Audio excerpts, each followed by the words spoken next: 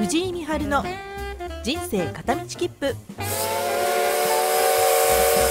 こちらの放送は乗り鉄旅好き藤井美晴の鉄道の旅を中心にお届けします。皆さんこんにちは。乗り鉄列車の旅が大好きな藤井美晴です。よろしくお願いします。こちらの放送はですね日本全国 JR 線の制覇を目指し各地を旅した写真に大好きなミュージシャンのアルバムを BGM にして編集したフォト動画の紹介になります。鉄道好きはもちろんですが国内旅行や一人旅に行きたい方観光地の写真を見るのが好きという方もどんどんコメントや DM ください。お待ちしております。